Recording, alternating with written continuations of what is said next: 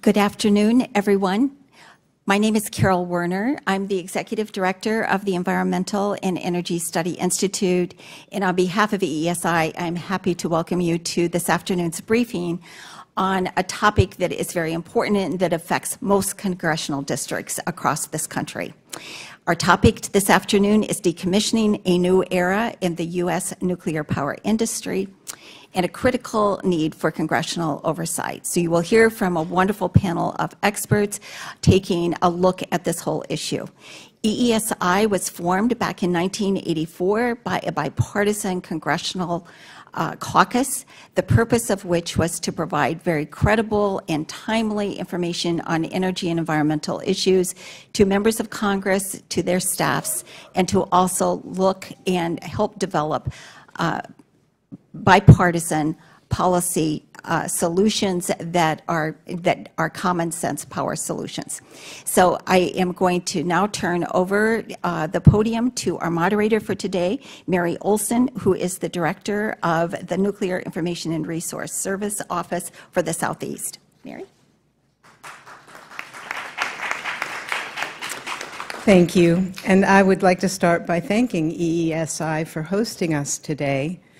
And I also have some other generous uh, folks to thank as well. Beyond Nuclear, Hudson Sloop Clearwater, Natural Resources Defense Council, Nuclear Energy Information Service, Nuclear Information and Resource Service, and the Samuel Lawrence Foundation, as well as so many other public interest organizations, large and small, working to make decommissioning safer.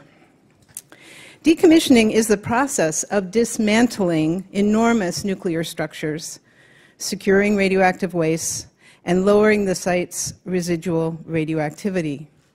The highly radioactive fuel rods pose a hazard for over 50,000 human generations, and that's a technical number 50,000.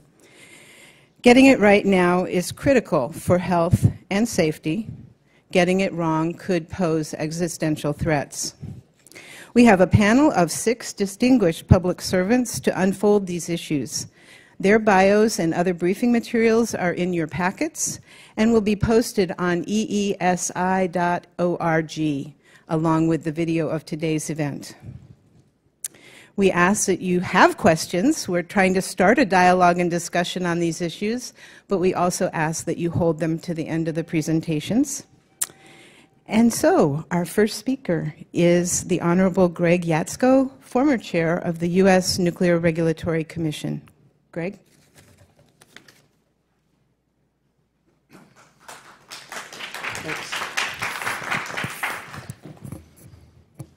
Well, thank you. Uh, it's a pleasure to, to be here, and, and, thank you to all the groups that uh, Mary talked about for um, bringing us here. Um, I'm going to hopefully tee this off with some big picture issues um, and big picture topics, and I think you'll hear from the others in more specifics. Uh, but I thought I would start uh, just with, and I hope you all can see this. It's not the best rendition. Uh, but I thought I'd start here with just the, the reason why we're here today. If you look at this chart um, on the wall, you can see there are three different um, curves. There's a blue one, a gray one, and a light blue one. The blue one is the nuclear industry if there had never been something called license extension. So nuclear plant, power plants were originally licensed for 40 years.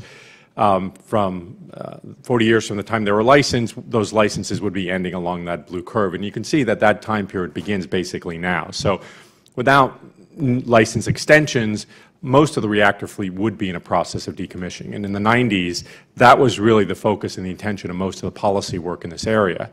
Well, what's happening today is that most of the plants are, are essentially following that gray path, which is essentially the second or first life extension. And that essentially shows you a process, and this would be essentially a reflection of the number of plants that are operating and then that are shutting down over time.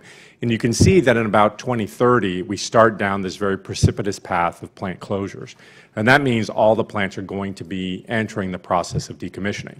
So that other uh, graph on the far right would represent what would happen if we were to grant an additional license extension, license extension to plants. But that is very, very unlikely. So decommissioning is really the future um, of this industry. It's not a, a, growth industry right now. It's an industry that's in contraction from an operations perspective, which means that from a decommissioning perspective, there's going to be a lot of growth. So why we're here, the economics and to a certain degree poor performance are making it harder for existing nuclear units to compete in competitive wholesale electricity markets, and that's about half the plant. And just in general, uh, it's expensive to operate nuclear reactors. There are two new plants under construction, so those may come online in the next several years. But uh, right now, we're looking at about 198 plants today. So two is certainly not going to do anything to change what I showed you on, on the last slide. So decommissioning will become the dominant policy and operational issue for the nuclear industry really over the next decade, uh, and really next several decades. Um, the only thing that would change that really is if we did this wholesale second life extension, but right now it does not appear that that would be very viable. Uh, or something very significant changes just in general with the electricity industry. And again, that's not, that's not likely to transpire. So there's really what I would call two and a half key issues for decommissioning. Uh, there's the, the decommissioning of the plant itself, so the actual cleanup. And then there's the issue of what to do with the spent fuel. So the spent fuel is the fuel that was used to power the reactor, which is, uh, as you heard, is very hazardous for long, long periods of time, hundreds of thousands to millions of years. Uh, so that is really in and of itself a very separate issue. The one thing happens on the time frame of decades, the other thing happens on the time frame of hundreds of thousands of years. So those are two very, very different challenges from the decommissioning perspective. And I'll touch on a couple of key policy issues for each of those um, to hopefully kick off this discussion. Of course, whenever you're going to do a massive cleanup, and a nuclear power plant cleanup is a very expensive process, uh, you need money to do that. Well, and one of the really unique foresights of the nuclear industry or of the Nuclear Regulatory uh, Agency, the Nuclear Regulatory Commission, all nuclear power plants have been required or are required to set aside sufficient funds to do the decommissioning. And I will say that with a caveat to do the nuclear decommissioning. Uh, some plants do require decommissioning for kind of standard uh, industrial pollutants, and that's not covered by these funding, but nonetheless, the bulk of the funding for a plant cleanup is already covered by funds that exist. So there are two types basically of plants in the country. There are plants that operate in deregulated electricity markets and plants that operate in traditional rate regulated electricity markets. And in those deregulated markets, in principle, the plants have to have the full amount of decommissioning set aside at all times. Uh, the regulated plants, they operate in a place where they can always charge ratepayers more money to accumulate uh, funds to pay for the decommissioning. So when we look at that issue, of course, the biggest question then going forward, and especially as we look to this massive transition from plant operation to plant decommissioning, are there sufficient funds to do the cleanup? Right now, the answer I would say is probably based on our experience with plant decommissioning in the past, um, but it does certainly raise a question about what happens if those funds run out. So today, when we're generally operating with and seeing decommissioning, it's usually a, a company that has other nuclear reactors or still continues to operate. Um, in an electric power company with other assets and other and other business lines. So certainly, if they they lose funds for their decommissioning, there are other ways to do that. But when you were looking 30, 40, 50, 60 years into the future, uh, the companies today that operate nuclear reactors may not necessarily exist in the way that, that they are today. And so this issue of funding becomes something to, to watch out for. But there is a fund set aside to, to deal with that. And there are lots of unique policy issues related to that that hopefully we'll get into in a discussion here. Um, another aspect really is the cleanup itself and the time frame on which you do that. Under Nuclear Regulatory Commission regulations, plants have basically up to 60 years to complete the decommissioning process in something that's called SAFSTOR.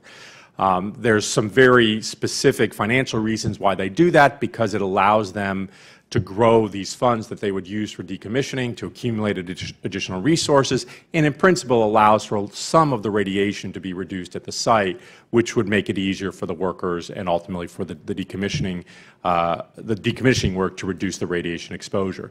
But for the most part on that last um, issue, you really get most of those benefits within about 10 to 15 years. So 60 years is really a long period of time. If you think about a nuclear power plant, if you have a district with a plant in it, and you think about trying to reuse that, 60 years is a very, very long period of time. So um, that's really one of the issues that people are, are looking at. And right now, what we're actually seeing is there's a market reaction to trying to address this issue.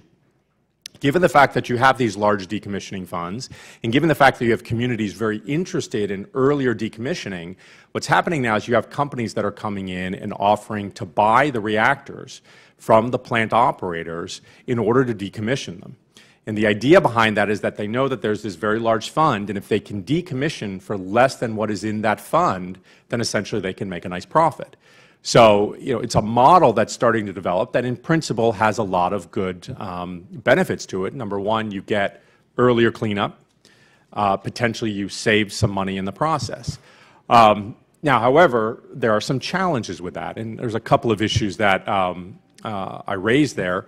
Number one, uh, can the cleanup actually be done for less money than exists in these decommissioning funds? Now, certainly I think the funds are sufficient to cover the cost of the cleanup, but I'm not sure that they're sufficient to cover the cost of the cleanup and a very nice leftover um, benefit for the company that does the decommissioning. The other thing to keep in mind is that these new companies that are coming in to buy these plants and get the license for them are not large, necessarily large electric power companies that are very well capitalized companies that have a lot of resources. So as you start to think about situations in which you get to limitations on funds, you no longer have such a large corporate entity behind this process to ensure that you ultimately find the, the funds to clean it up. The, the, final issue, which often gets lost in this process, is that these funds, which were originally set aside by the ratepayers, so the people who bought the electricity, they weren't set aside by the companies themselves. They would charge the ratepayers for this money. Originally, those funds, if there was any left over at decommissioning, were intended to go back to the people who paid that money, so the ratepayers. So we've lost that thread a little bit as these companies have come in and said, well, we'll take all that extra money. So there's a real policy question in there that I think people need to think about as, as they go forward. Um, so turning to the second issue, it's what to do then. So we talked about the decommissioning really being the actual cleanup of the plant itself. But in addition to that, you have this spent fuel, which is all the reactor fuel that came out of the reactors that used to power it over the 40, 50, 60 year lifetime of that reactor. And that spent fuel is now hazardous on a very, very different time scale than the spent or than the reactor itself now, of course, which is in decommissioning at most in 60 years. So you're taking this site and what you're doing is you potentially can clean it up in a few decades, but now you've got this issue of what to do with this spent nuclear fuel. Um, the U.S. has failed uh, for a variety of reasons to develop a national essentially repository to store all that fuel. So really we're left with some type of management. And there's basically two approaches to managing that fuel. One is at the reactor sites themselves, um, or at some consolidation uh, of sites uh, that, so if a utility owns multiple reactor sites, there are utilities that do move fuel to one of those plant sites that they own. But primarily, there's the approach of leaving it at existing reactor sites or, absent some type of permanent repository, doing a, what's called a consolidated interim storage facility, which means we take waste from a number of different places, find a place to put it, and, um, and leave it there. And so I just want to touch on those issues a little bit. The basically de facto solution for all the sites right now is to keep it where it is. Uh, and for a variety of reasons, that is not the worst scenario in many, reason, in, in many respects. Uh, the fuel, as long as it's maintained, is generally in a relatively safe configuration, um, and there are a number of sites in the country that are already doing this, so we have experience with this process. So certainly in a short period of time, this appears to be a viable, um, a viable approach. But one of the issues that we have to look at going forward is, is if we have these new entrants coming in who don't have a lot of experience operating nuclear reactor sites, and they're there largely to do decommissioning, but now they actually have the responsibility for the fuel as well. That's a very different question then about these companies being able to maintain and monitor that fuel for the potentially centuries that, that it could be, it could be um, monitored and needed to be dealt with. So the other approach, which is a very attractive approach, in particular from the industry perspective, is what's called a consolidated interim storage site. And that basically means finding some location somewhere where you can take all this fuel that maybe is in your, your, your member's district, moving that somewhere um, that's in somebody else's district, um, and that can always be an attractive proposition for the first group. Um, and so the industry likes to talk about this as a very viable approach. We want to do consolidated interim storage. And largely the idea is you can then fully decommission a site and move, and move forward. Um, but if you think about this, uh, there's a lot of challenges behind this idea of consolidated interim storage. So the first one is that essentially this is permanent storage. Um, as much as you may hear from people about consolidated interim storage, it is de facto permanent storage because once you move the fuel somewhere, it's going to be very hard to move it somewhere else. Really, the only place in principle you could move it to would be a permanent repository. Um, but right now, there's really no prospects, certainly in the next several decades, for any type of permanent repository for, for spent fuel. So you get into questions about who would own that fuel. If you move it to a consolidated storage site, does it still belong to the original producers or the original owners of the site? Well, if you do, then what happens to that fuel when the consolidated interim storage facility closes? Because right now, these facilities can only be licensed for 40 years. They're allowed to get license extensions, but at a certain point, that license period would end. And then that facility can no longer maintain that fuel. So one of the challenges going forward is what do you do with that period or that assumption that you don't have a repository? Do you require the owners of the fuel today to reserve an area of land where they can take back that fuel in the, in the future? Uh, those are the kinds of policy issues that people need to begin to ask, because otherwise you're going to wind up potentially moving fuel to a consolidated interim storage site, and then in 60, 70 years when that site is closing, you have nowhere to put that fuel. And we're right back into a situation in which we have fuel that has no home and no viable location. Um, so it's a very, very important question uh, about what you do in the long term. So typically when you talk about interim storage and when you hear about interim storage, in my mind, what you always come back to is the issue of permanent storage. Can you find a permanent storage location? And if we could find a permanent storage location, we would use it. So again, I think you get back to a logical loop where the idea of an interim storage site sounds very attractive on the part of the industry, but from a practical standpoint, it's really not that good of a solution. Um, the other piece to consider is that whenever you're dealing with nuclear fuel and moving it to a new location, you do inherit some risks with the transportation of the fuel. And when you have an interim storage site, you're basically increasing the amount of transportation hazard and risk that you have to do because you'd have to move that site or that fuel to an interim site and then from that interim site either back to the original site or to a permanent repository. And so when you start to talk about those kinds of issues, then people begin to realize that interim is maybe not necessarily a good approach because either it's going to have to leave that site in which you have new transportation risks, you have the issue of where does it go back to, or it's de facto a permanent storage site. And so the community that may think it's a great idea to have an interim site all of a sudden realizes that in, in principle what they're really getting is a permanent storage facility. So I think it's very, very challenging ultimately to identify and ultimately develop an interim storage facility. So um, that is um, the end of my presentation, and hopefully it kicked off some good ideas that we'll have a discussion about. Thanks.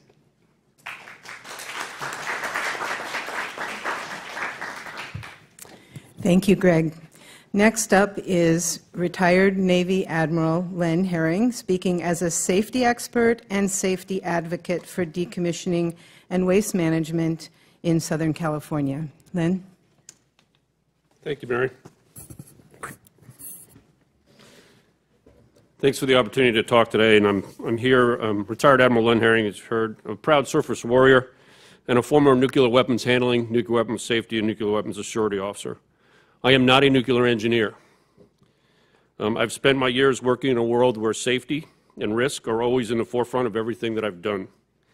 Working in dangerous environments requires that everyone involved is properly trained, exercised, and prepared to both conduct the operation in accordance with properly approved and tested rules and regulations and be prepared to react to conditions when those regulations fail to produce the desired outcome. In other words, respond to a disaster. I've learned to examine risk and inspect what you expect. I've learned that training and adherence to the rules is paramount to both safety and success. I've also learned that when you violate or alter safety conditions, you seriously place your people and yourself at risk. Throughout my career, I've found that rules and regulations are written for a purpose. In my business, primarily because of somebody had lost their lives.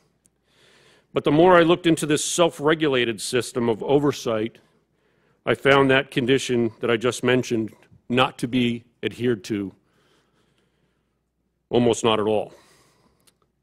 Modifying and altering safety conditions that were clearly established to define safety conditions seemed to be wavered or exempted without significant review or testing to ensure the risk factor that was that originally was originally required the rule to be put in place was in fact compromised by its change.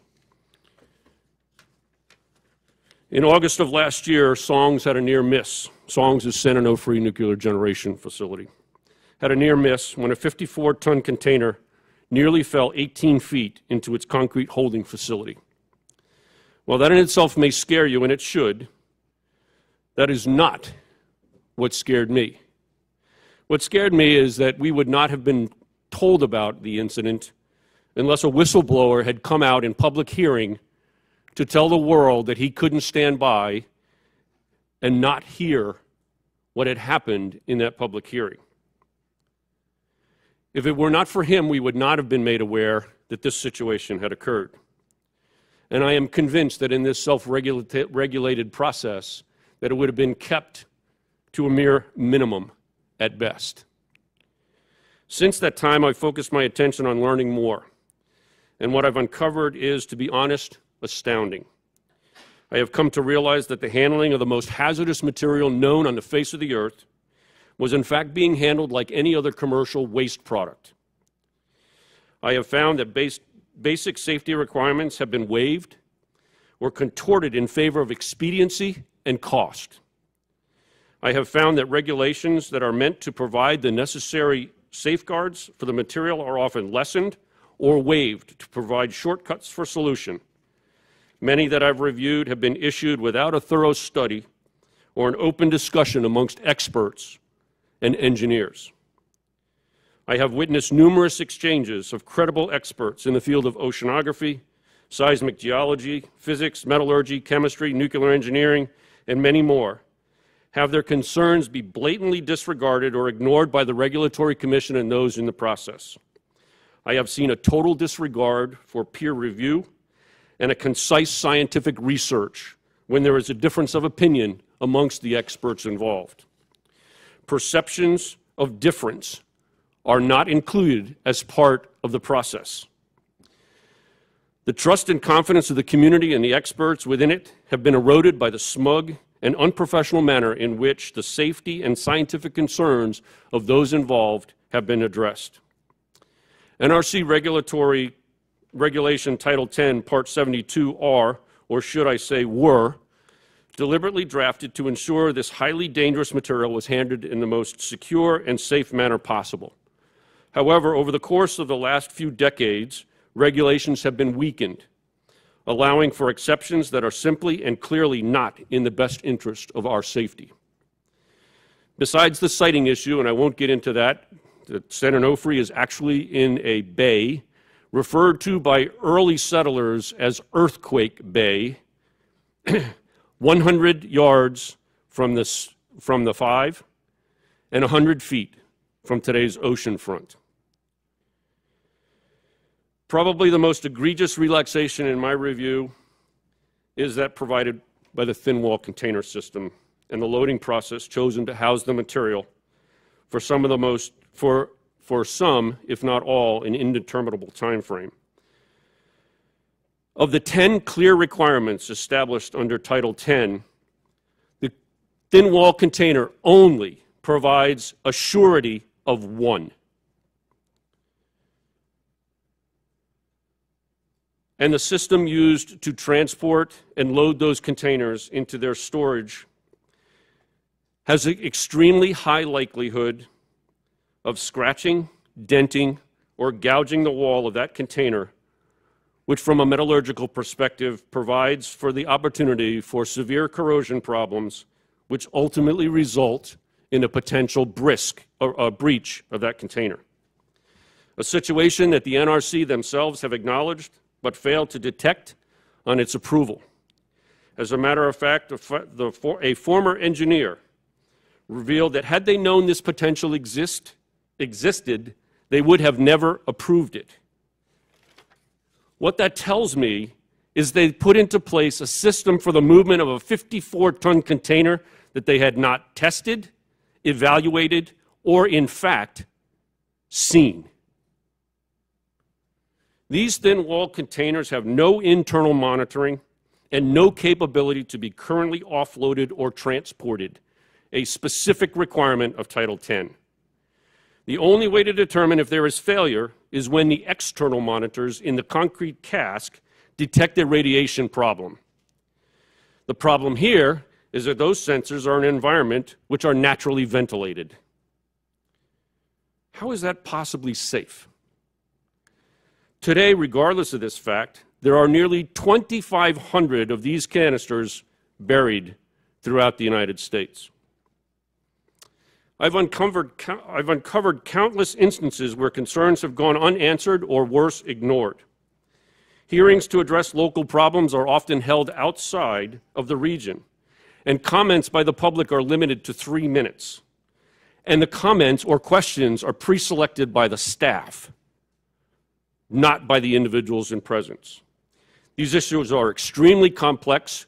They deserve more than a three minute, a three minute opportunity and they deserve better review. Blatant violations of procedures have been uncovered, yet little to no action has been taken. While findings reveal wrongdoing, the violator is permitted to continue operations without real serious consequences. Recently, the NRC handed down a $116,000 fine that was considered a flagrant violation. Well, it's the first in a long string of gotchas to those who are watching the fine, I can tell you that $116,000 is nothing more than symbolic. This was levied on a company that made more than $3 billion on ratepayers' monies. About a month ago, there was a hearing held in the Congress questioning the FAA about its oversight of Boeing and potential collusion therein. While this situation may sound less than acceptable, I would contend that the situation at the NRC is twice as bad. I've often referred to as being in court where a five time DUI individual is telling the judge that he will never do it again. Trust me. And the judge is stupid enough to believe him. In the world I come from, teams are made up of individuals who first receive specific training and equipment the procedures they're to operate, and the safety for a role, for a role that they're about to play in the hands of other members of the team. Once they prove themselves proficient, they are considered qualified to then join the team who similarly trained, who, with similarly trained individuals who are then given the opportunity to train and learn as a team. Extensive exercise scenarios are conducted and each member learns what the other member must do in order to provide a safe environment. Once that level is reached, they undergo an extensive testing and evaluation period to prove that they are certified to conduct operations without fear of placing themselves or others at risk. That's what you might have expected or expect of the Nuclear Regulatory Commission in moving a 54 ton container of highly active or highly radioactive material. Well, guess again. While regula regulations imply that that should have happened, what I found is it'd be far from the truth. I couldn't believe it. As a matter of fact, it was revealed to me that the operator of the lift equipment, the day the incident took place, was chosen to perform the duties not because of his expertise in the handling equipment, but because his rad count was the lowest of the team. I've even found out that the OSHA inspectors who were on site were not nuclear certified. that they were simply industrial engineers. These people have never trained before, exercised with dummy equipment, or passed any significant training requirement that provides them the safe, safety requirements to handle nuclear material. They were, for all practical purposes, hired off the street. Worse, they had never drilled together or received any training on what to do should there have been an accident. The list goes on, and I only have another minute. There's a bigger concern that is of, a po of point, and that is for nine years in the last part of my career, I was a General Courts Martial Authority as a regional commander. After close examination into conditions of both oversight provided by the regulatory authority and the documented repeat offenses found, if asked by my seniors, I would be forced to conclude that I had lost all trust and confidence in their ability to remain in command. I would recommend a complete investigation be conducted. I would recommend a cessation of all operations and a relief for the chain of command responsible for the disregard and blatant, dis, the, and blatant um, changing of standards and safety conditions and operating procedures. I hate to say this, but it's time for the Congress to address the problem and accept that there is no walking away from a nuclear accident. Failure to address the concerns for a national solution that involves our nuclear waste problem is critical. Today, we are creating waste sites that should, some, should something happen, it will leave portions of this country uninhabitable for not if hundreds, but tens of thousands of years. And if, it, and if the worst should happen, that there be an explosion, and I'm not saying there would or could or would, but the risk is always there. Maybe tens of thousands or hundreds of thousands could lose their lives. The Congress needs to retake control and make sure these regulations are adhered to, and that the oversight of Congress to change or approve any modification thereunto is done so only with their approval. The oath of office demands it of them. We, the people, especially those I represent in Southern California, have lost faith and confidence when it comes to House SONGS and the Nuclear Regulatory Commission is upholding the standards that we expect to be applied when our safety is considered. Thank you.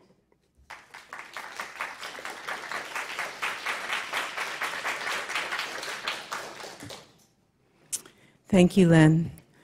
Next, we hear from Leona Morgan, who is a Diné community organizer and co-founder of the Nuclear Issues Study Group, working with communities impacted by uranium mining, the proposed Consolidated Interim Storage, or CIS, site in New Mexico. Leona?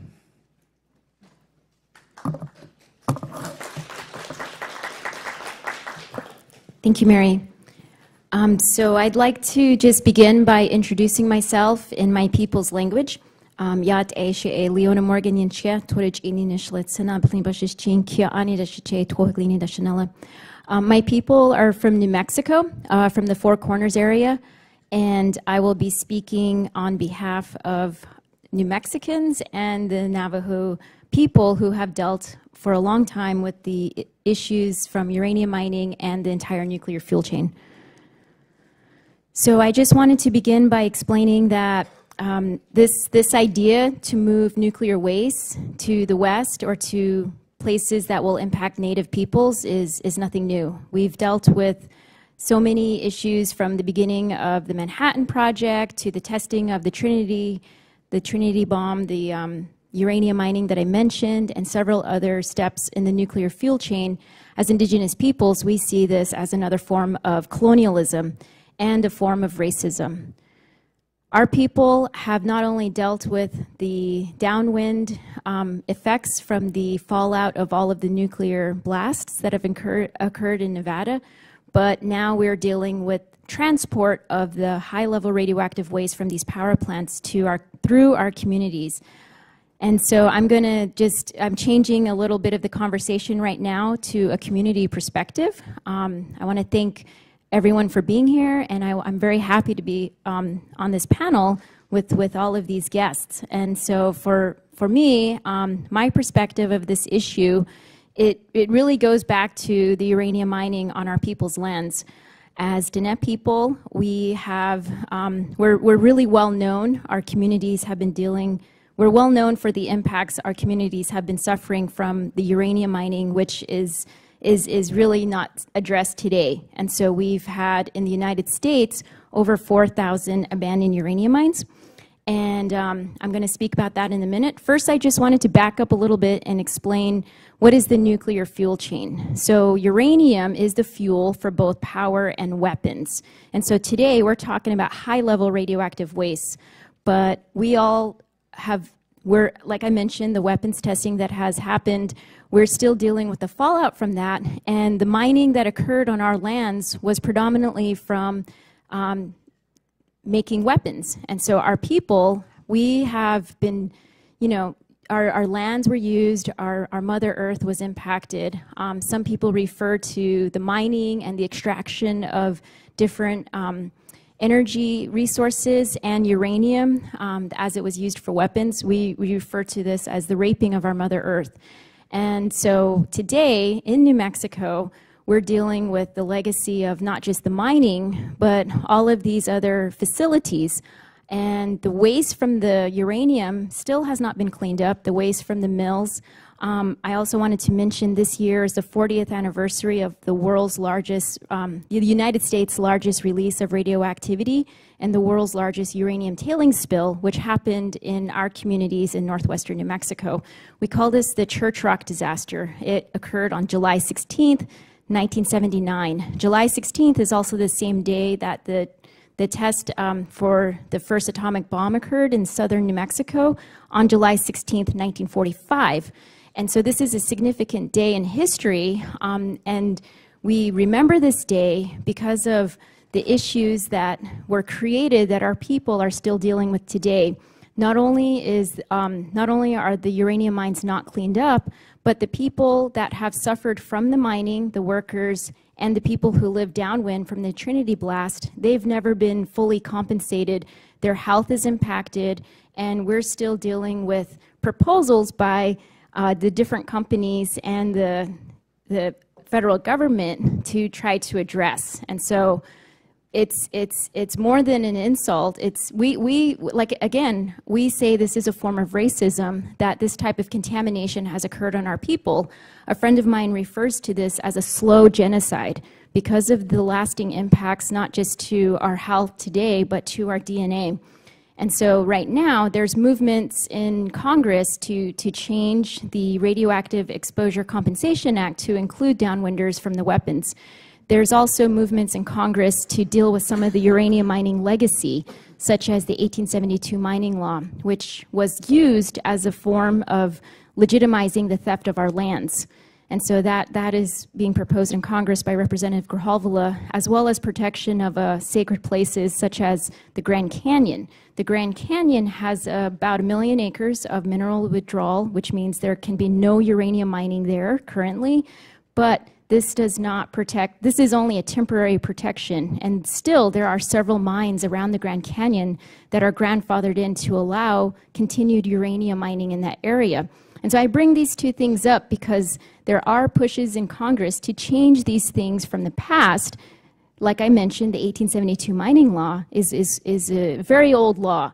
But today, our people, we're still suffering and dealing with the mess that was created, not just by these laws, but by the current administration trying to take away protections that were put in place for uranium mining, such as Bears Ears.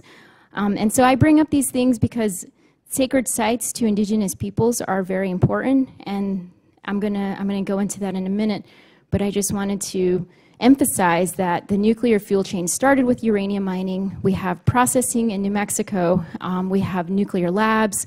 We also now are dealing with this, this thing that is called CIS, or Consolidated Interim Storage. And so here's a map of the, the mines that I mentioned. Um, the EPA counts 15,000, and the DOE takes responsibility for about 4,000. And again, these have not been fully cleaned up.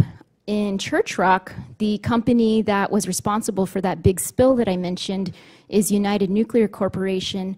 And currently, their proposal for cleanup of their mine is to scrape up the surface, the, the mine waste, and put it on top of the mill waste and, and, and not address the issue that was created by the, the spill, which left over 100 million, about 100 million gallons of radioactive waste that flowed from New Mexico westward into Arizona, as well as 1,100 tons of solid radioactive and hazardous materials. And so I mentioned sacred places. This is a map um, that shows the states of New Me Arizona and New Mexico. And the orange area there um, is what we call Navajo Indian country. This is the current legal um, recognized uh, jurisdiction of the Navajo Nation. Although our traditional homelands exceeded this, this area, you can see the four uh, mountain peaks there. Those are our four sacred mountains, which our people consider sacred, and the entire area within that region is our homelands. Because of the mess that was made, made from the uranium mining, we passed a law in 2005 to stop further uranium mining on our lands. And some of that contamination that was caused by the transport also um, pushed us to pass the Transportation Act of 2012, which actually outlaws the transportation of all radioact radioactive materials besides um, those that are being transported for cleanup and me medicinal use. So we actually are against the transport that Holtec is proposing, as well as waste control specialists. And for us as Diné people, we have already dealt with all of the impacts, and so we, we, we do not welcome anymore. And the Navajo Nation has um, passed a resolution against this proposed project. And I just wanted to note that the Organization of American States, as well as the United Nations, have both passed declarations on the rights of indigenous peoples um, that are specifically um, to protect our peoples against racism, that give us an outline the rights for a healthy environment and also the right to self-govern. And so because these are our, our laws, um, these are things that the company Holtec and the United States, by allowing Holtec to move forward, are violating our indigenous sovereignty.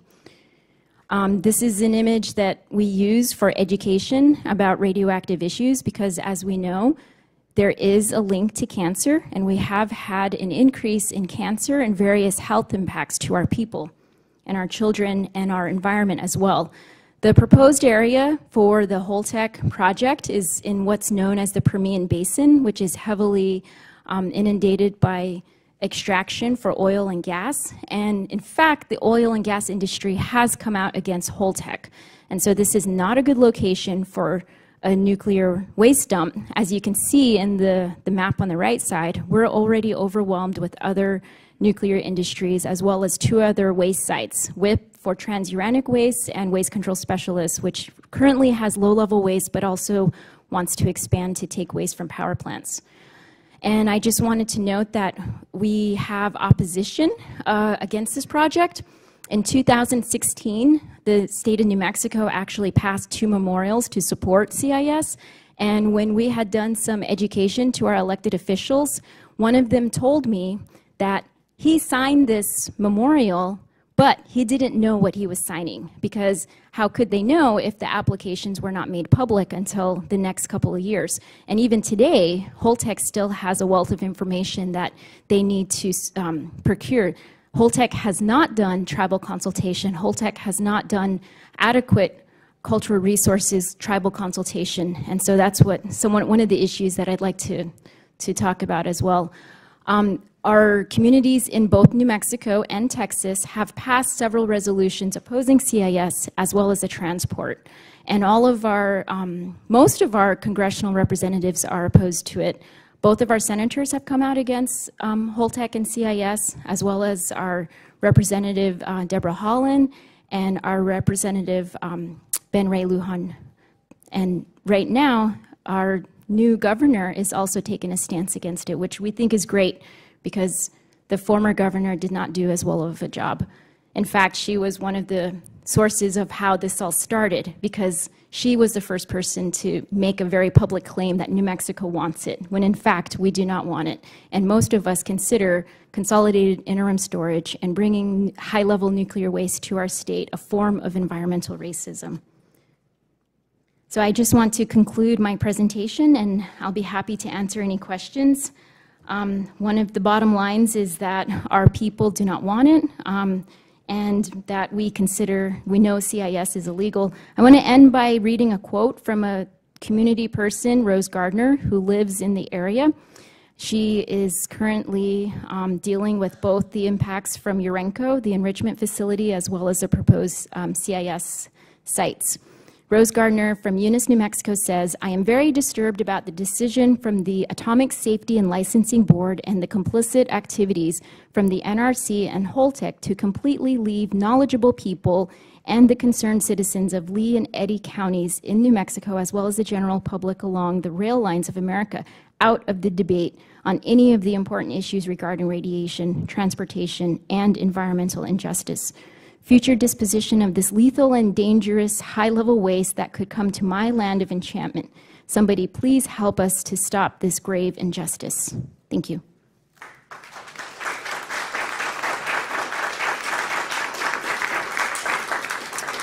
Thank you, Leona. Next is Kevin Kamps, radioactive waste specialist with Beyond Nuclear a non-government organization working with communities impacted by nuclear facilities nationwide, and it really should say worldwide.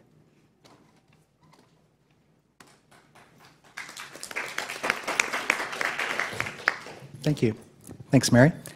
And I would like to start with some words from Ian Zabarte of Native Community Action Council in Las Vegas. He asked me to share. He said that going along with the Yucca Mountain dump is not doing a job, it is banality to genocide.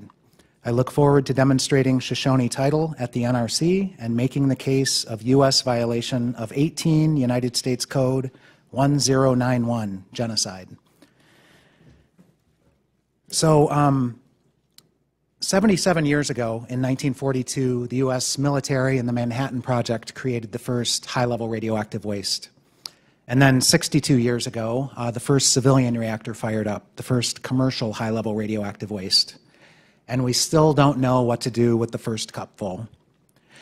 And thank you to Geoff Fettus at NRDC for winning the 2004 Yucca Mountain lawsuit in federal court, where the EPA was forced under court order to acknowledge a million years of hazard with commercial high-level radioactive waste and military. But actually, that's a low ball.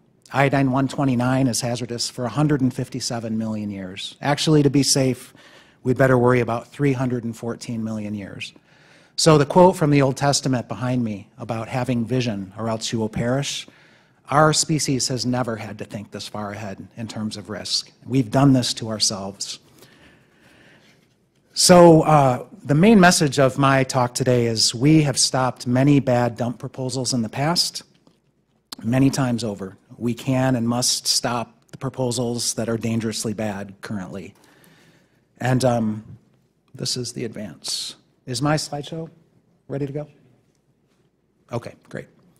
So I wanted to follow up on something that um, Greg Jaczko said earlier. Uh, reactor shutdowns are very good news. We have uh, seen seven reactors shut down in the United States since 2013. It's a record-breaking number. And uh, why is it good news? Because reactor meltdowns can no longer happen once the fuel leaves the core. And in addition, no more high-level radioactive waste gets generated. That's very good news since we don't have a solution for it. So we have another seven to eight reactors in the next several years that are scheduled for shutdown, and here's the list. And uh, I would like to add that uh, we was robbed at a bunch of reactors. Uh, these reactors had announced shutdown dates, and they used that as leverage to secure bailouts from the public, massive bailouts. So uh, Exelon in Chicago has been the beneficiary of $10 billion of public bailouts in the state of New York, in the state of Illinois. They're so greedy, they're coming back for a second round in Illinois as we speak. And uh, will they close? Here's some more announced shutdown dates at reactors. All of the bailouts that First Energy is trying to secure in Ohio and Pennsylvania um, are at some particularly dangerous reactors. So Davis-Besse, Ohio, for example, Uh, I did this paper called Radioactive Russian Roulette on the Great Lakes Shore about all the near misses at Davis-Besse over the past several decades. So we're facing 20 more years of that in the future. And the second one, what Humpty Dumpty doesn't want you to know. Davis-Besse happens to have a severely cracked containment. And so if they do have a meltdown, it's so severely cracked that concrete could spall off the exterior of the containment and take out safety systems down below. So in that sense, the containment could cause the meltdown and then not contain the radioactivity. That's Davis-Besse. They want to keep going.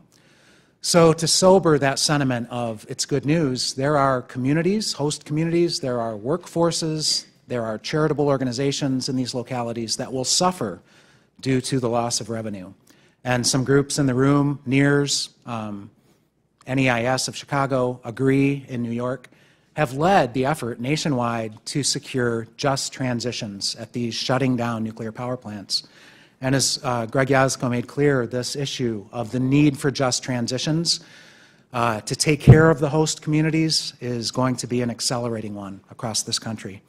Instead of bailing out the for profit corporations that have made filthy profits for decades at the expense of the public, uh, perhaps we should worry about the workforces who are on the front lines of the radioactive risk and worry about the communities that have faced these risks for so long. So one of the catchphrases at NRC and in industry is effective and efficient regulation. It's a Orwellian term, given the safety risks. So it's ironic timing. Uh, in addition to the July 16th dates of infamy in New Mexico that Leona mentioned, there's another one now from 2018. It's when the NRC began the licensing proceeding for the Holtec Eddy Lea Energy Alliance in New Mexico. And boy, have they been efficient and effective. The NRC Atomic Safety and Licensing Board last week rejected six independent legal interventions, totaling more than 50 legal objections to this proposal. They just got rid of them all in one fell swoop. Pretty shocking behavior. But all of those interveners, or most of them anyway, have vowed to appeal to the Nuclear Regulatory Commission itself, have vowed to appeal to the federal courts. Holtec is sticking by its uh, confidence that they will have their license in hand by 2020. So what are beyond nuclear's le legal objections? Well, that two major federal laws are violated by this proposal. One is the Nuclear Waste Policy Act, which clearly states that the U.S. Department of Energy cannot take ownership, cannot take liability for commercial irradiated nuclear fuel until a licensed and operating repository exists. And this is a very critical law because it defends a state like New Mexico from becoming what Greg Jaczko warned about, de facto permanent surface storage. And what's the problem with de facto permanent surface storage? Well, let's just take it from the Department of Energy itself in its 2002 Yucca Final Environmental Impact Statement, where it warned that permanent storage abandoned over a long enough period of time with loss of institutional controls will result in failure of the containers and catastrophic releases of ionizing radioactivity into the environment. That can happen at reactor sites. That can happen at centralized interim storage. And the other law being violated is the Administrative Procedure Act, uh, where it says that the NRC is not above the law. It has to obey the law. It has to obey the Nuclear Waste Policy Act. It can't make it up as it goes. So we will be in the second highest court in the land soon, uh, the D.C. District Court of Appeals to argue our case. But we are not alone. Uh, the oldest and largest environmental group in the country, Sierra Club, is an official intervener with dozens of contentions against this proposal. And there is an environmental coalition, including uh, Nuclear Issues Study Group of Albuquerque, New Mexico. Leona is a co-founder, um, represented by Terry Lodge in Toledo, Ohio, which has uh, a real focus on the transportation risks. Most states in the lower 48 100 plus major urban areas are going to see these trucks, these trains, and these barges coming through on their way to New Mexico in a great big hurry if Holtec has its way. So Holtec has a lot of problems. Uh, I learned in January of 2003 about an epidemic of quality assurance violations. And as the Admiral related, that information came from a very courageous whistleblower, Oscar Shirani of Exelon, who was made to pay for revealing this information. He was blacklisted from the industry for the rest of his life. And he regards the Holtec containers as nothing but garbage cans because they so badly violate quality assurance. At zero miles per hour, sitting still, let alone going 60 miles per hour down the rails through major urban areas. And then he was backed up by an NRC whistleblower, Dr. Ross Landsman, now retired, who compared NRC and Holtec's decision making to NASA's that led to space shuttles hitting the ground. These are the kind of risks that whistleblowers are warning us about. Holtec also has a bad habit of engaging in bribery. In fact, there were convictions uh, down, in Tennessee, down in Alabama at the Tennessee Valley Authority's Browns Ferry nuclear power plant, but Holtec got a slap on the wrist 60 days suspension, small fine, and went on its way with that contract. And Shirani and Landsman both alleged that Holtec CEO Krishna Singh attempted to bribe them into silence about the quality assurance violations. There's also a little uh, problem of racism that was mentioned uh, earlier. Uh, Krishna Singh said these amazing words uh, to a business magazine, and this is the reporting from WHYY in Philly, the NPR station. His own workforce, he's referring to, in Camden, New Jersey, they don't show up to work. They can't stand getting up in the morning and coming to work every single day. They haven't done it, and they didn't see their parents do it. Of course, some of them get into drugs and things, so it's difficult. So, um, the environmental justice violations, uh, Holtec's problems in Chernobyl, where it's facing huge fines for screw ups. And there's this mini series on HBO that folks should check out about the Chernobyl catastrophe. And the, the theme of it is what is the cost of lies? And I would add secrecy. So these centralized interim storage facilities in New Mexico and Texas are three times Yucca. That's what we're facing. We've stopped them before at Skull Valley Goshutes in Utah, at Mescalero Apache in southeastern New Mexico, uh, at 60 reservations across the country. SNC Lavalin, Holtec's partner in decommissioning, is headline news in Canada for its corruption, and it may cost Justin Trudeau his prime ministership this October. The other company engaging in decommissioning at Vermont Yankee, North Star, uh, has a lot of problems, and I wanted to emphasize Areva, Orano of France's role. That's their reprocessing facility, dumping radioactivity into the English Channel, into the Atlantic Ocean. They want to reprocess in Texas. Holtec wants to reprocess in New Mexico. I refer to it as radioactive kleptomania. They want to get their hands on the decommissioning trust funds, not to mention, in addition, the Nuclear Waste Fund, the Judgment Fund damage awards. They want to get their money on billions and billions of public dollars to do a shortcut on cleanup, do as little cleanup as the NRC will let them get away with, and then put the rest of the money in their pocket, not give it back to the public who paid for it in the first place, and probably finance their centralized interim storage facilities with the excess. So uh, we're doomed to repeat mistakes if we don't learn from them. So I point out Big Rock Point in Michigan uh, 67 megawatt electric reactor. It costs $367 million to decommission. The 1,000 megawatt reactors are 15 times bigger. Multiply that decommissioning price tag by 15. And guess what? They left plutonium in the groundwater, in the soil, in the sediments of Lake Michigan. So I'll end just by focusing on some very bad bills that we're facing right now. The Nuclear Waste Policy Amendments Act of 2019, nearly identical to the Shimkus bill of last year. This recently introduced uh, Senate Bill 1234, the Nuclear Waste Administration Act of 2019, and also uh, centralized interim storage and Yucca funding bills, energy and water appropriations. The House markup is Wednesday. We have to stop these bad bills like we've done for a generation. We need to do it again. And here are some good bills that we can support. The Stranded Act, uh, not only sponsored by Senator Duckworth of Illinois, but also Representative Schneider of Illinois uh, consent-based siting legislation that the Nevada delegation has introduced. And a good bill that needs to happen. Uh, Allison Macfarlane, NRC chairman, voted in favor of this, the sole dissenting vote, uh, for expedited transfer out of pools. Because pools are mega catastrophes waiting to happen. And where does that expedited transfer have to go? It has to go into hardened on site storage or as close to the point of origin as possible. And I'll just close with this because there's so much uh, clamor, rightfully so, about the San Onofre situation. A humble proposal that instead of transferring the waste a thousand miles to the New Mexico and Texas borderlands, how about a few miles deeper into the heart of Camp Pendleton, out of the tsunami zone, out of the earthquake zone, And the added benefit is thousands of U.S. Marines to help guard it. And I'm not just putting that on San Onofre. Um, I'm from Palisades, Michigan, where we've had the same problems that San Onofre now faces, only we've been facing them for 25 years. We need to move the waste off the Lake Michigan beach, away from the drinking water supply for 40 million people in two countries and a large number of Native American First Nations. Move it a few miles inland to higher ground, away from the earthquake risks, away from the tsunami risks on Lake Michigan, which exist, and we would be in a better place. It's an interim measure. The dilemma is high level radioactive waste. It shouldn't be on this planet, but it is, and we have to figure out how to isolate it from the living environment forevermore into the future. Thank you.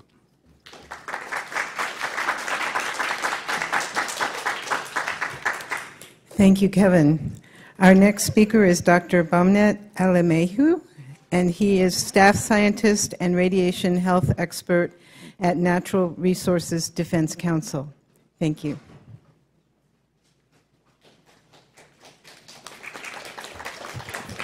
Thank you, Mary, and thank you all for coming, and I'm very happy to be here.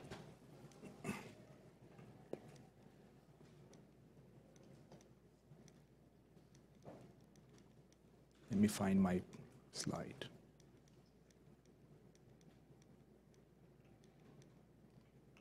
Okay, here you go. So my talk today will focus on radiation protection context of nuclear decommissioning. And to start us off, nuclear decommissioning is an integral component of the nuclear fuel cycle, and it has the following major components. So it's a, it involves the safe removal of a facility from service and a reduction of residual ra radioactivity to a level that permits termination of the NRC license. And the other is removing the spent fuel, dismantling any systems or components, uh, containing activation products and cleaning up or dismantling radioactively contaminated materials from facility. So to accomplish these tasks, radiological source characterization and environmental radiation uh, monitoring are key and essential uh, aspects. So my talk today will focus on these two uh, components. So what do I mean by radiological source characterization? So it is a determination of the nature, location, and concentration of radionuclides at a nuclear installation. And um, it has uh, several components, but just to mention few, it is the, to, it's to identify the extent and nature of contamination, um, to determine the waste classification, so what will be the final nuclear waste, that, so that it will be ready for packaging, shipping, and disposal, uh, to determine what should be the radiation protection for the workers and the public in general. And ultimately, its goal is to support the estimation of decommissioning costs. So the major determinant of cost in nuclear decommissioning is the radiological source term or the radiation that is left at the site.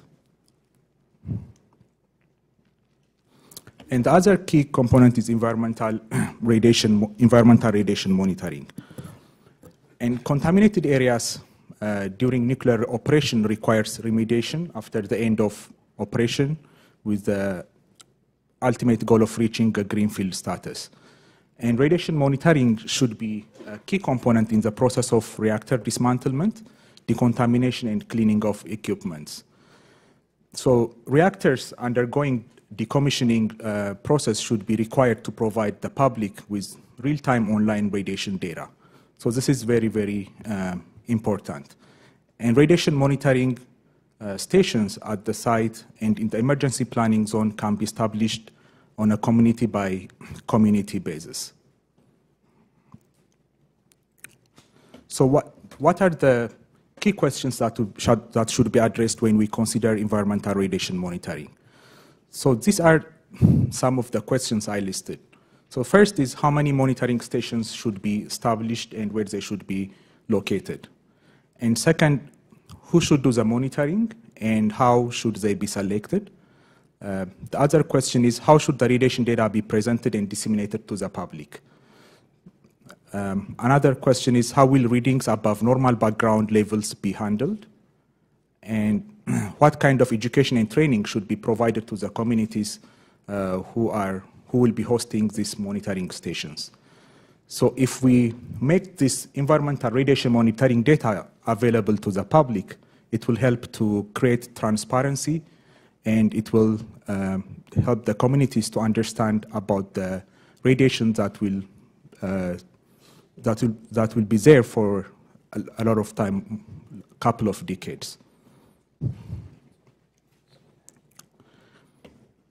And to, I would like to finally finalize my talk by speaking up a little bit on emergency preparedness.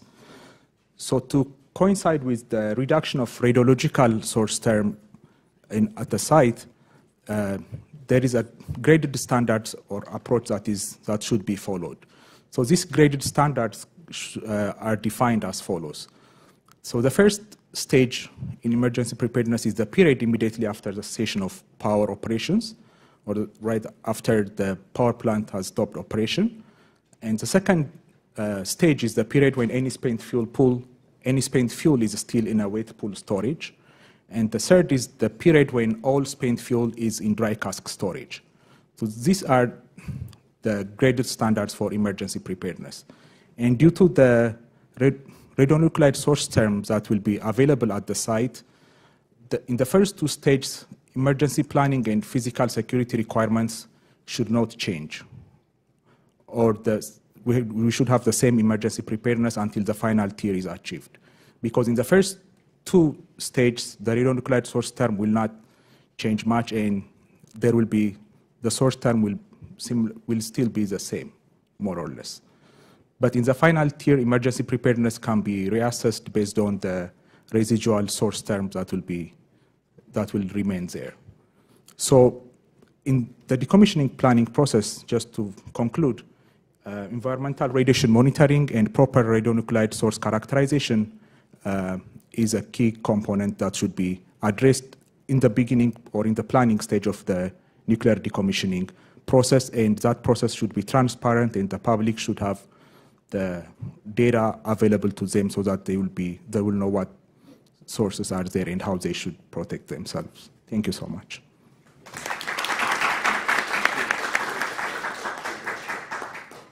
Thank you, Bemnet.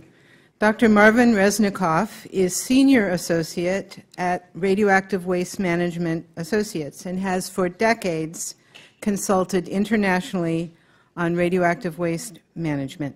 Marvin? Let me figure out how to work this. Oh, here I am. Uh, let me start on a personal note. I started working on transportation of nuclear materials in 1975 when I worked for the state of New York. Uh, I was um, in the state of New York. We had a, a plant called West Valley Reprocessing Plant. They separated out plutonium and where did that plutonium go? Liquid plutonium was being shipped out of Kennedy Airport uh, in containers that could withstand a 30 foot drop. Uh, most people know that planes, for the most, fly higher than 30 feet, uh, except the, the NRC.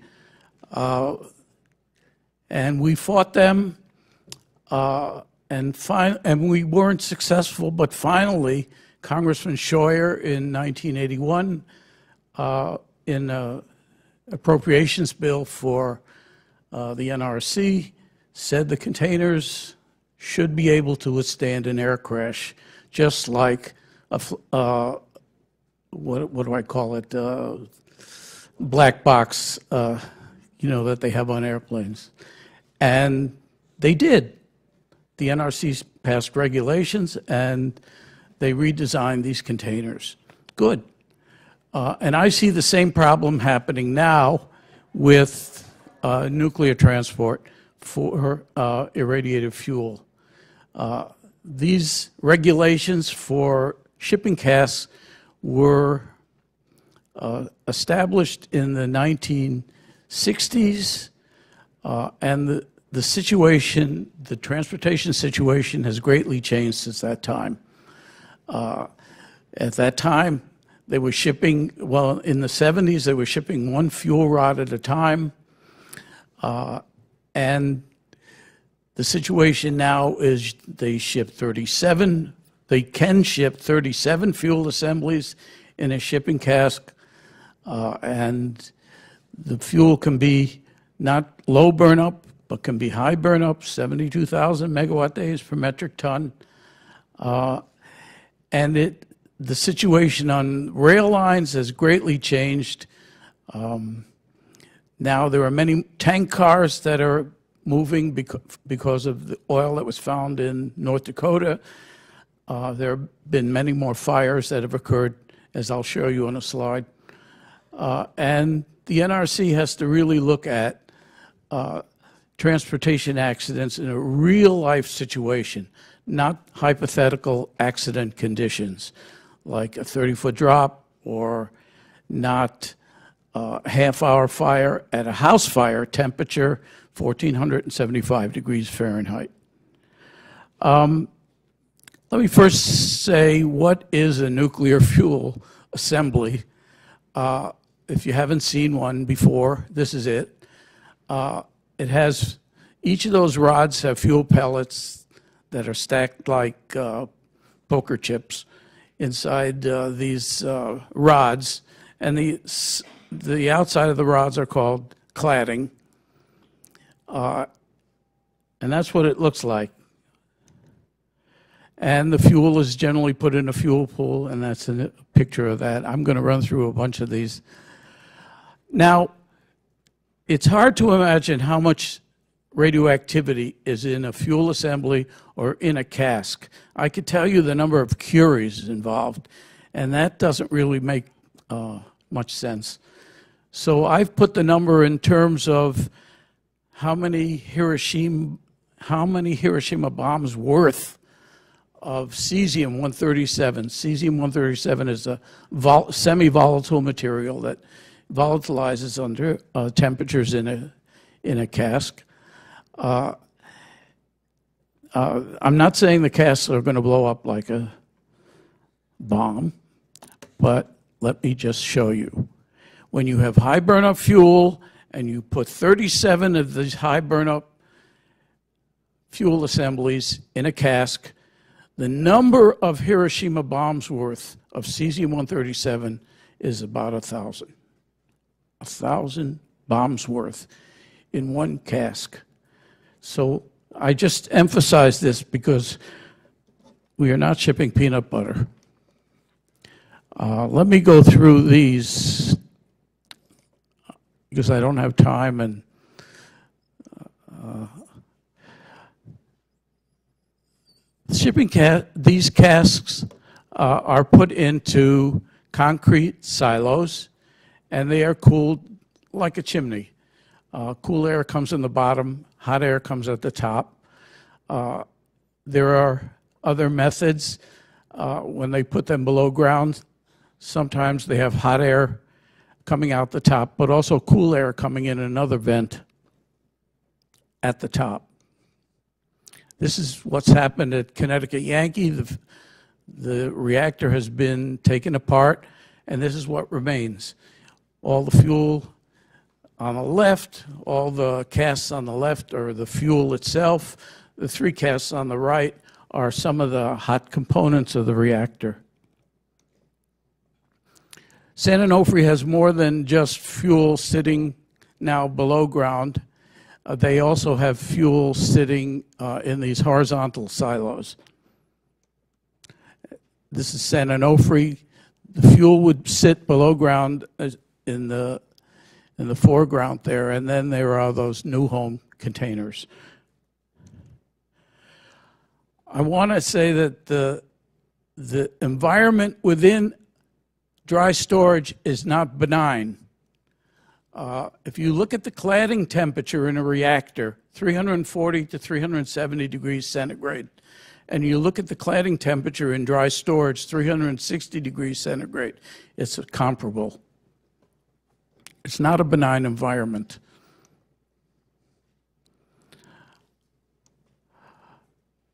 Um, maybe you've seen some of these maps before, and it was already alluded to. This fuel will go through uh, many states. Uh, I think two, two-thirds of the congressional districts. If, if the waste repository opens or if these dry storage facilities open, there will be one cask per day at least moving on the highway or rail. For 50 years, there'll be at least one moving each day.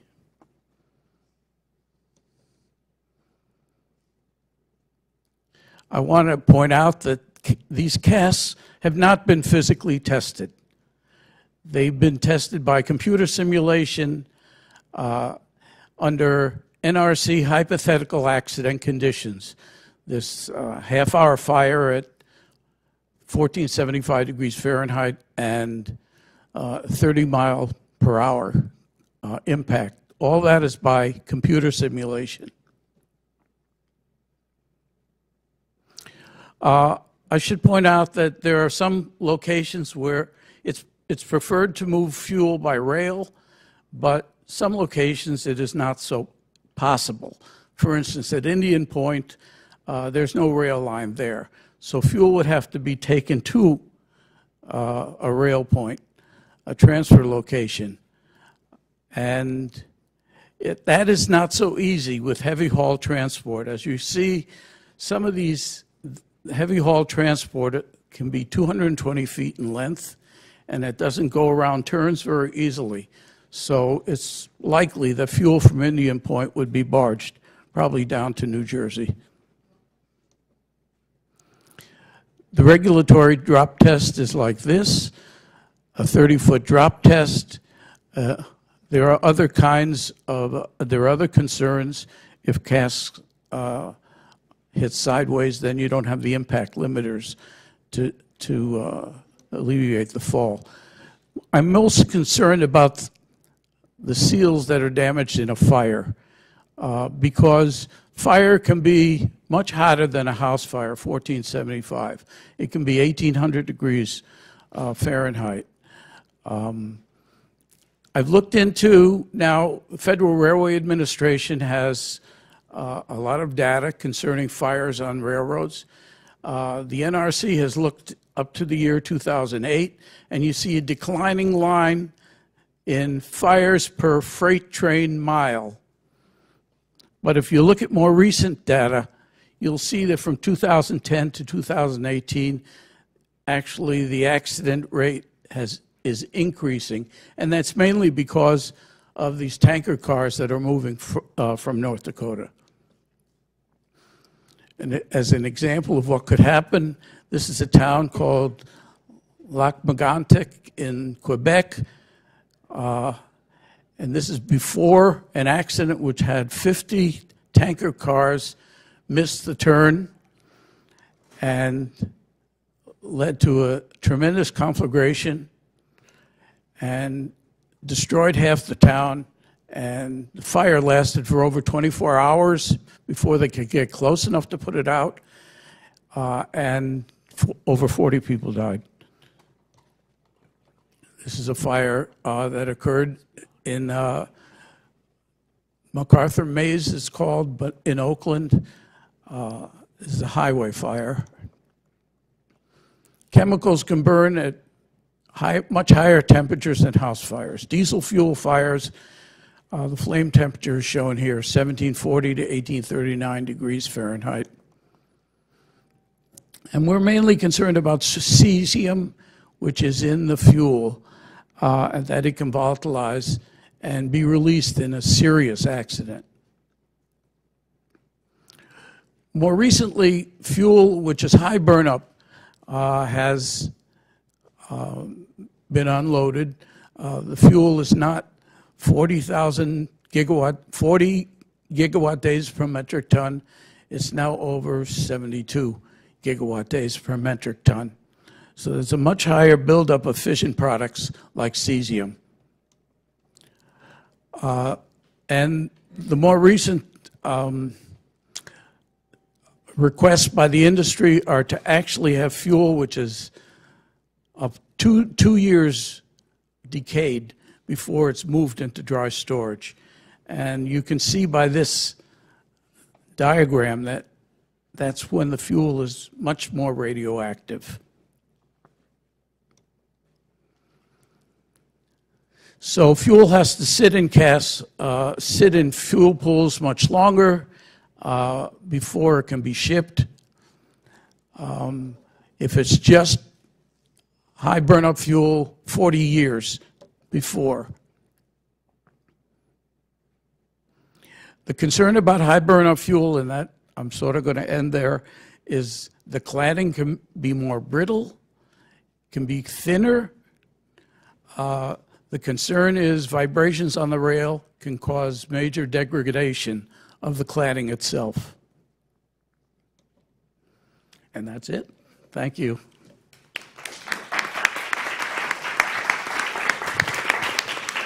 Thank you, Marvin. A hundred years ago, we did not have any nuclear power reactors or any of this waste.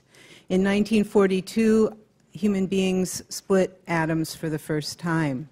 All of this is new stuff. We're on a learning curve. Today, we've opened the discussion with history, technical insights, policy perspectives, legal perspectives, and just anger. Just anger about violation of trust, violation of people, violation of our earth. I want to add just one point, and then we'll open it to questions. Um, it was mentioned that a markup is coming in appropriations. You've heard very good logical and personal and technical arguments that consolidated interim storage deserves zero funding.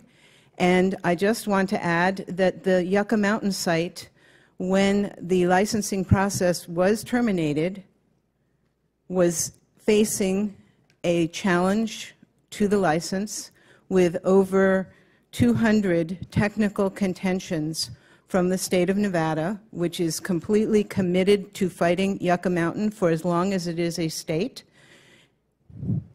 I often tell them they should secede, but that's with a tongue in cheek. Um, and also the western bands of the Shoshone Nation for the same reasons that the Diné people are fighting CIS. Oppose Yucca Mountain not because it's a repository, but because the site itself should have been disqualified under the siting conditions in the Nuclear Waste Policy Act, hence the number of technical contentions. So we again urge with the markup that Yucca Mountain is not a worthy path towards a permanent solution. So with that, I'm going to forego my own slides and open to questions.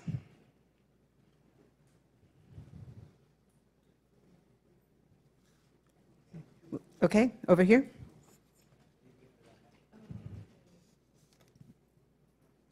Thank you so much for your really informative um, and heartfelt, although you were very calm, um, presentations.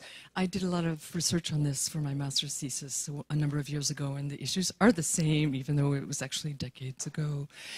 I now have, as, a, as an environmentalist, I now have friends and colleagues saying, well, with climate change and so forth, we need to relook at nuclear power, and we have this whole new brand of wonderful new compact modular uh, reactors. And my gut reaction is um, that that's a terrible idea, but maybe I'm wrong. How do you, um, how do you see these, this new generation or generations of nuclear power? Kevin, do you want to start with that? Well, I'd just like to um, give a shout out to the Sunrise Movement uh, with the Green New Deal, which has made a clear statement that nuclear power has no place in a Green New Deal. So we would share that sentiment. Uh, a lot of these proposed new reactor designs are decades old, actually. They're, um, they're dusting them off, taking them off the shelf. Some of them are especially dangerous. So, for example, on October 5th of 1966, we almost lost Detroit the Fermi Unit 1 reactor had a partial meltdown, and there's an excellent book about that. There's an excellent song about that. Well, these uh, sodium-cooled or liquid metal-cooled reactors are, are among these so-called advanced new reactor designs. So we think it's a lot of pie in the sky that's very dangerous. And it's going to eat up all the money, and there will be no money left for the real solutions. Uh, Arjun Makhijani of IEER wrote a book in 2007 called Carbon Free and Nuclear Free. Renewables and efficiency can solve the problem. Uh, it was a technical study in 2007, and since that time, countries have moved to do it. Germany, a leader of that. So by 2022, the reactors will be off in Germany completely. Most of them already are, a response to Chernobyl and Fukushima. And by mid-century, uh, greenhouse gas emissions in Germany will be drastically reduced at around the 85% level over uh, previous levels. Admiral? So- so I just want to add one point to that, which is nuclear reactors are not carbon-free. Uh, Most of the carbon takes place at the uranium mining section, where they have to dig up, well, I did calculations on the order of over 100,000, it depends on the enrichment, the level of uranium-235 in the, in the uranium ore itself. But for the states, the amount of uranium that has, ore that has to be mined is over 100,000 just to operate a reactor for one year. And those trucks have, diesel trucks have to be carrying all that material then to a uranium mill. And the enrichment step itself also uses uh, electricity to actually enrich the fuel. So it's not a carbon-free uh, operation.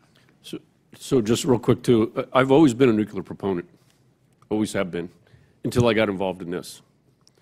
Um, and I, what I'm, what I really am looking at is a cessation of all activities to include anything that is current in the technology advancements that we see in the nuclear field until we figure out what to do with the waste.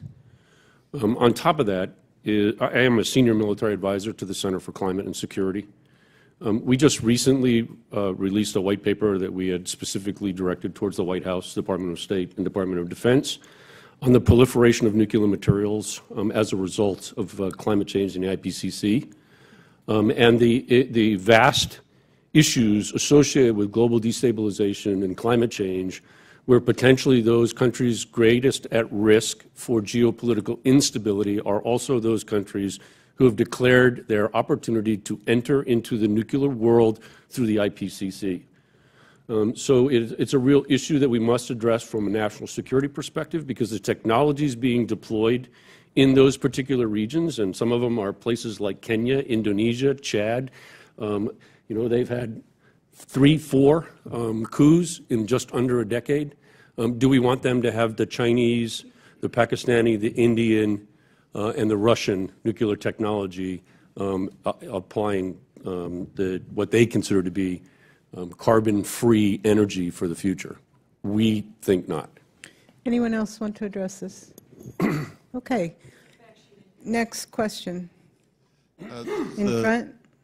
Oh, I'm sorry. This address to Kevin Kamps. It seems that uh, over these past few years and in the near future, there's a paradigm shift by the nuclear companies that operate nuclear power plants and own nuclear power plants to sell these nuclear power plants to decommissioning companies, which may or may not be transporting the waste. And I'd like you to try to comment on, uh, to the best of your knowledge, the relative risks of having a nuclear power plant have robust storage with uh, hardened on-site storage principles applied versus transporting it across the country uh, to a consolidated interim storage facility.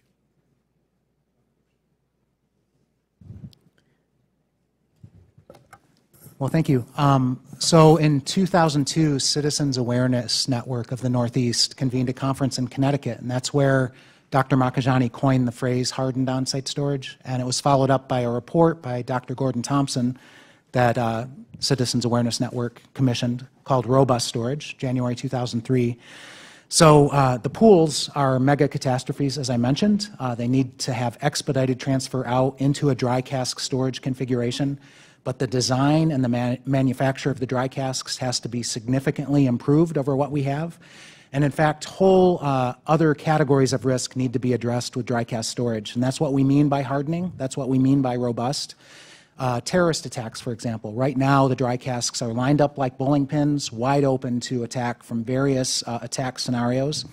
So, something as simple as an earthen berm, uh, something as cheap as an earthen berm, a wall of dirt, would preclude certain attack scenarios like uh, remote fired anti tank missiles that could blow big holes in the sides of these things, or, as Dr. Resnikoff has pointed out, blow a perforation hole through both sides. Now you're talking disastrous levels of radioactivity release out a perforated cask. It'd be bad enough with one side breached.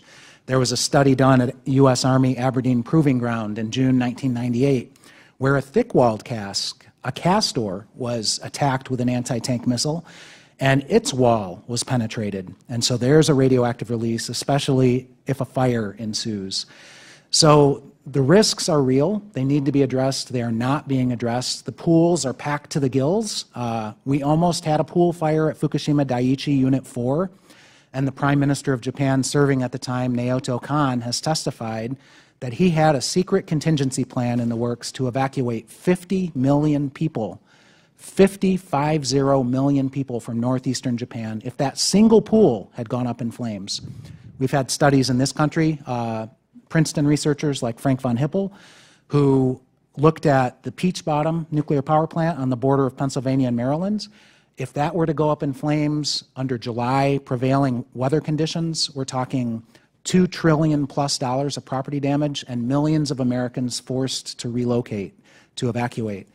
So uh, those are the on-site risks that have to be addressed. Now imagine those risks uh, traveling through the south and west sides of Chicago by the thousands, perhaps even by the tens of thousands. As was mentioned by another speaker, uh, Dr. Resnikoff, imagine those risks coming down the Hudson River past Manhattan on a barge.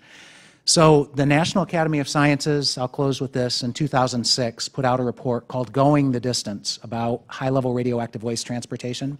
They identified 13 categories of risk that needed to be addressed.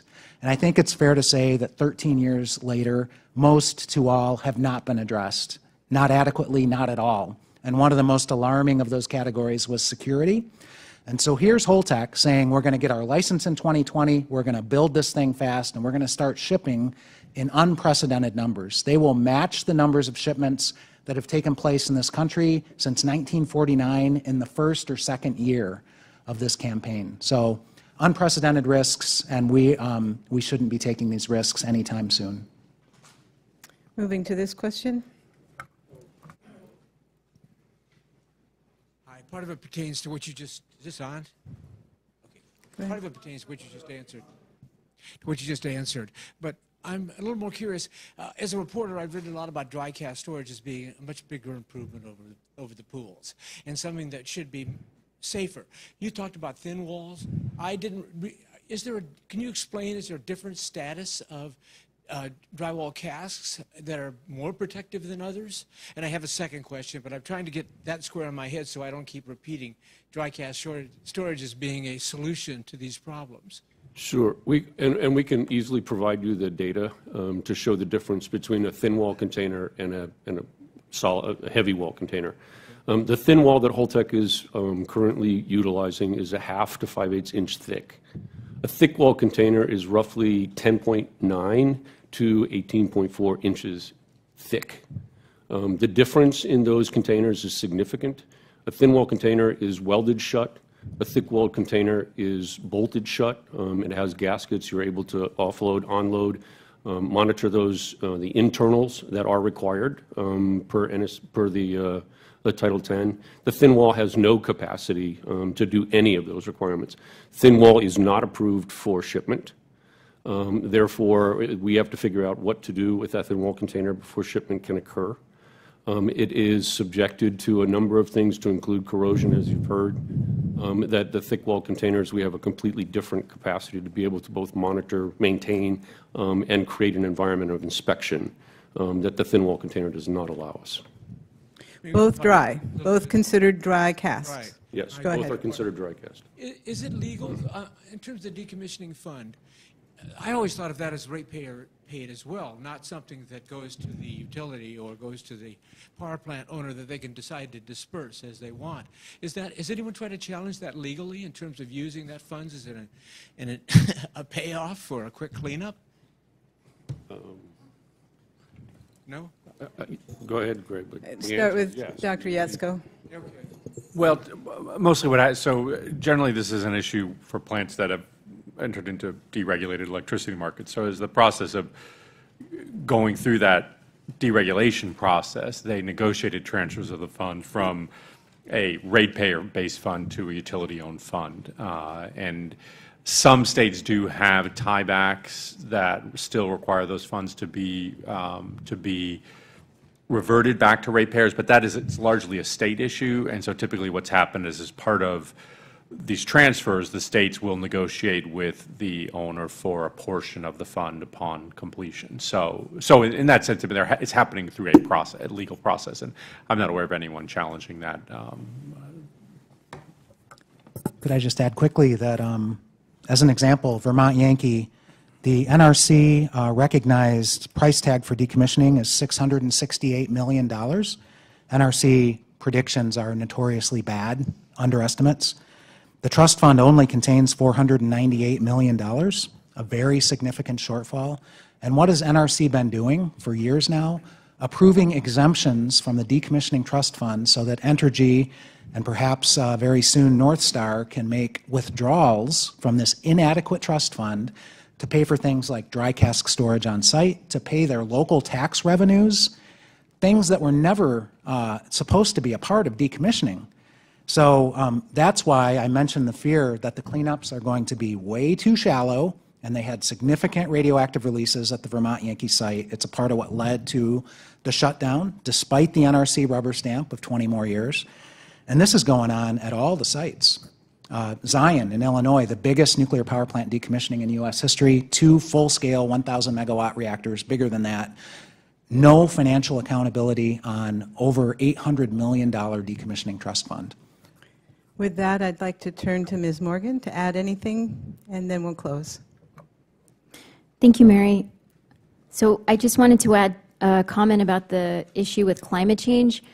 Internationally, there is a push for uh, more nuclear power plants to be built, and a similar process is happening that happened to indigenous peoples in the United States that companies, uh, state-owned companies uh, from Russia and other places are trying to colonize other lands and use indigenous people's resources and water to build new nuclear power plants. And so we say that nuclear is not a solution to climate change and that it is just ridiculous that we have, haven't learned from the past. I just wanted to conclude by saying that I mentioned a lot of the risks and the costs that we're dealing with from the cleanup of uranium mining and all the, the history of the um, nuclear legacy in the Southwest. But when people say they want to move nuclear waste out of their communities, they want to get it away, they want to take it out and, and move it somewhere else or, you know, to keep their communities safe. Well, when you're moving waste away from your communities, that away is my community. It's our home. And it's not just New Mexico who's bearing the risk. We are, you know, suffering from, uh, we're, we're very last in the state, as a state, in many quality of life measurements. And so our state, as one of the most rural and poorest states, is looked at as a nuclear wasteland. However, just because we're rural doesn't mean there's no people there. We are lacking several um, things that are more accessible in urban areas, such as uh, hazmat and first responders and adequate maintenance of railroads and these types of things. And so I just want to say as our communities are put at risk, it's really every community that's between a nuclear power plant and these sites. So it's not just for us that we're concerned, we're concerned for everyone. And as indigenous peoples, most of our prayers and the things that we do, our cultural ancestral ways, are not just for us or our tribes.